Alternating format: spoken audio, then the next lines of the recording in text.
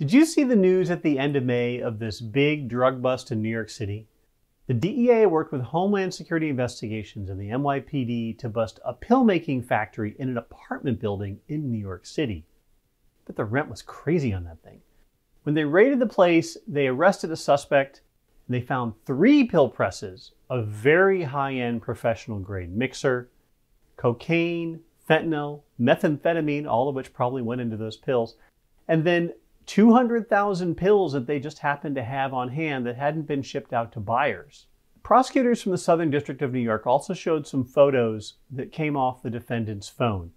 They included photos of pills that, I guess, to prove to buyers that they were on the way and produced, some sort of cheat sheet to help them remember which pills were called what, and then a very high tech accounting system for their multi million dollar drug business kept in a spiral notebook.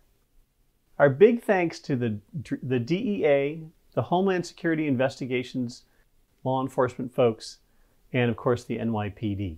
To see more stories of counterfeits from this week, go to safemedicines.org.